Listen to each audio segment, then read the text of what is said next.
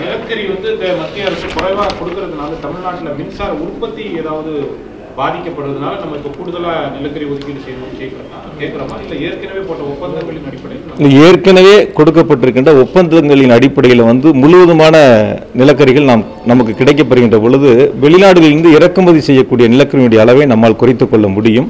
அதனால் ஏற்படுகின்ற கூடுதல் செலவினங்களை நம்மால் தவிர்க்க முடியும்.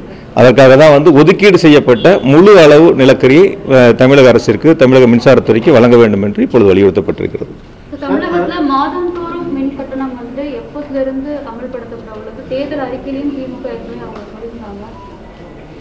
மே ஏழாம் தேதி தமிழகத்தினுடைய முதலமைச்சராக மனு தளபதி அவர்கள் ஆட்சி பொறுப்பேற்றார்கள். நடந்து முடிந்த சட்டமன்றத்தினுடைய பொதுத் தேர்தலில் திராவிட முன்னேற்ற கழகத்தின் சார்பில் ஐநூற்றி ஐந்து வாக்குறுதிகள் வழங்கப்பட்டன. ஆட்சி பொறுப்பேற்ற இந்த ஆறு மாத காலத்தில் இருநூத்தி இரண்டு வாக்குறுதிகளை முதலமைச்சர் அவர்கள் நிறைவேற்றி இருக்கின்றார்கள் மாதாந்திர கணக்கீடு மின்சாரத்துறையில் என்பது அதற்கான கட்டமைப்புகளை நாம் வலுப்படுத்திட வேண்டும். கணக்கெடுக்கக்கூடிய பணியாளருடைய எண்ணிக்கை அதிகரிக்கப்பட வேண்டும். அதேபோல் அடிப்படை அந்த கட்டமைப்புகளை மேம்படுத்துகின்ற பொழுது இந்த மாதாந்திர கணக்கீடு என்பது நடைமுறைக்கு கொண்டு வர முடியும். அதற்காகத்தான் இந்த ஆண்டு நடந்து முடிந்த சட்டமன்றத்துடைய கூட்டத்தொடரில் மனு முதலமைச்சருடைய வழிகாட்டுதலின்படி பல்வேறு சிறப்பு திட்டங்கள் அறிவிக்கப்பட்டிருக்கின்றன. அந்த அடிப்படையில் மனு முதலமைச்சர்கள் தேர்தல் வாக்குறுதிகளை படிப்படியாக நிறைவேற்றுகின்றனர் இந்த திட்டங்களும் விரைவாக படிப்படியாக மனு முதலமைச்சர்கள் நிறைவேற்றுவார்கள். மின்சார மின்சாரத்துடைய கட்டணம் வந்து உயரும் உயரும் அப்படின்னு ஒரு தகவல் பரவிட்டு பரவலாக. அது உண்மையா? இல்லை. அரசுக்கு அது பாதிப்பட்ட திட்டங்கள் இருக்கா?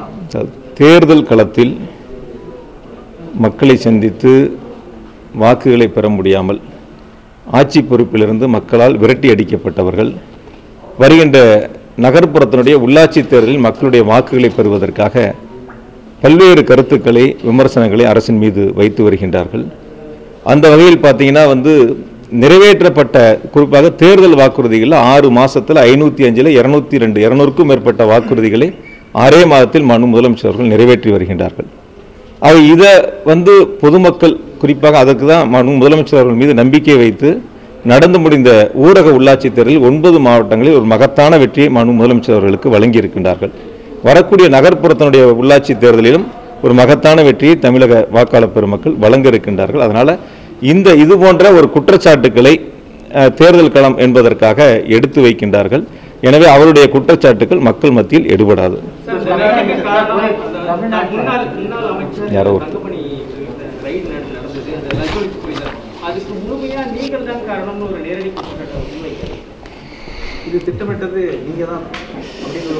நீங்கள் என்னென்னா இன்னைக்கு நான் வரும்போது சிஎம்டி சார்ட்டும் டிடி சார்ட்டும் சொன்னோம்.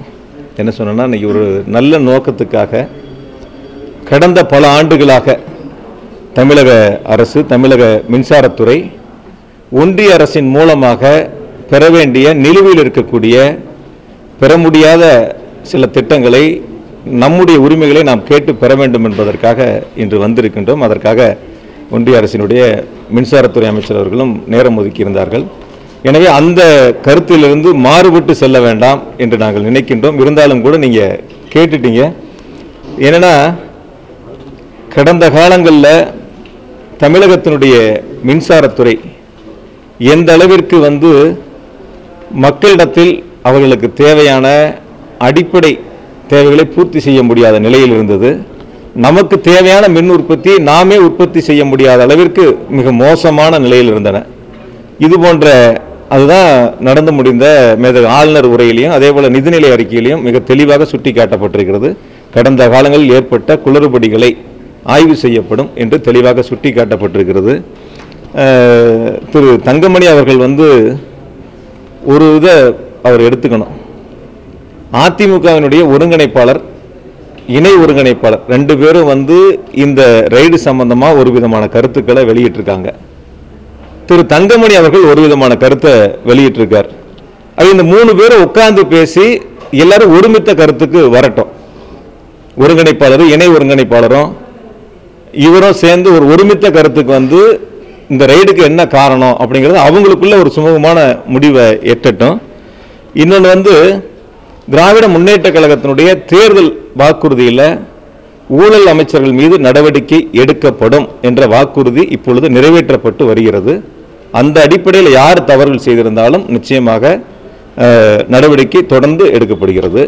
இன்னொன்று அவங்களுக்கு நான் சொல்கிறது இந்திய வரலாற்றிலேயே ஊழல் பணத்தில் கிரிப்டோ கரன்சிக்கு முதலீடு செய்த முதல் அரசியல்வாதி என்ற பெருமையை தங்கமணி பெற்றிருக்கின்றார். இன்னொன்று நான் சொல்லணும் அப்படின்னா கண் பார்வையிலிருந்து காணாமல் போன நிலக்கரி கண்ணுக்கு தெரியாத கிரிப்டோ கரன்சி இந்த ரெண்டுக்கும் விளக்கம் சொல்ல வேண்டிய தங்கமணி என் மீது குற்றச்சாட்டு சொல்வது உள்ளபடியே வந்து தங்கமணி அவர்களுக்கு என்ன பேசுகிறோம் என்று புரிதல் இல்லாமல் பேசிக் கொண்டிருக்கின்றார். கண்ணுக்கு தெரிஞ்ச நிலக்கரியை காணோம். சரி ஏற்கனவே நாங்கள் கடந்த காலங்களில் பல முறை சொல்லியிருக்கோம் வடசென்னையில் மட்டும் ரெண்டு லட்சத்தி முப்பத்தெட்டாயிரம் டன் நிலக்கரி வந்து கடந்த ஆட்சியில் காணாமல் போயிருக்கு. அது சம்பந்தமாக குழு அமைக்கப்பட்டு இப்போ விசாரணை செய்யப்பட்டு வருகிறது.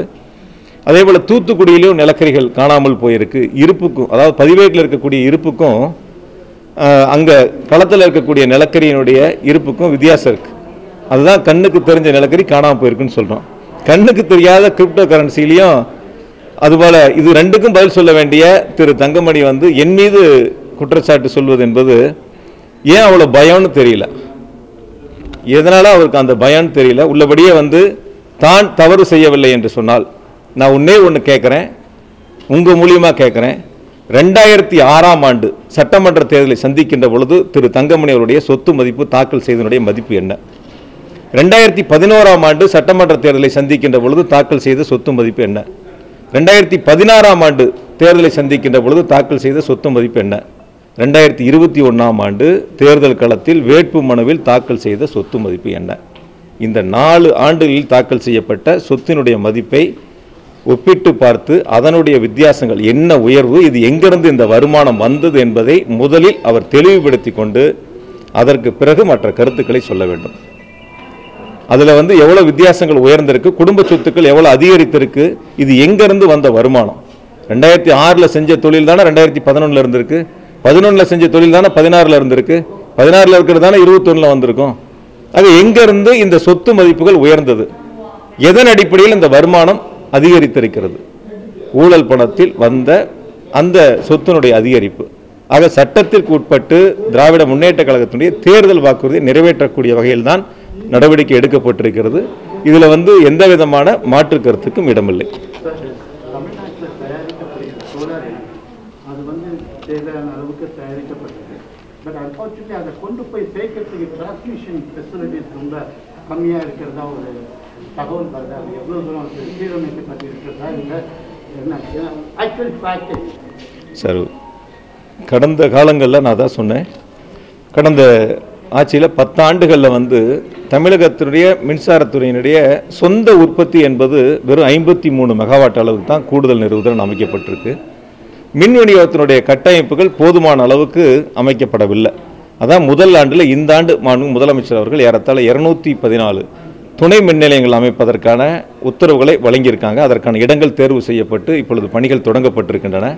எனவே இன்னும் சோலாரை பொறுத்த வரைக்கும் இந்த ஆண்டு மானிய கோரிக்கையில் வந்து நாலாயிரம் மெகாவாட் அளவிற்கு தமிழ்நாடு மின்சார வாரியம் சொந்தமாக சோலார் மின் உற்பத்தி செய்வதற்காக அதுவும் அந்தந்த மாவட்டங்களில் சூரிய மின்சக்தி பூங்கா அமைப்பதற்கான திட்டங்கள் அறிவிக்கப்பட்டிருக்கின்றன. அந்தந்த மாவட்டங்களில் இடங்கள் தேர்வு செய்யக்கூடிய பணிகள் இப்பொழுது நடைபெற்றுக் கொண்டிருக்கின்றன. முதல் சூரிய மின் உற்பத்தி அந்த பூங்கா வந்து திருவாரூரில் அமைக்கப்படும் என்று முதலமைச்சர்கள் அறிவிப்பை வெளியிட்டிருக்கின்றார்கள். எனவே அதற்கான பணிகளும் இப்பொழுது தொடங்கப்பட்டிருக்கின்றன.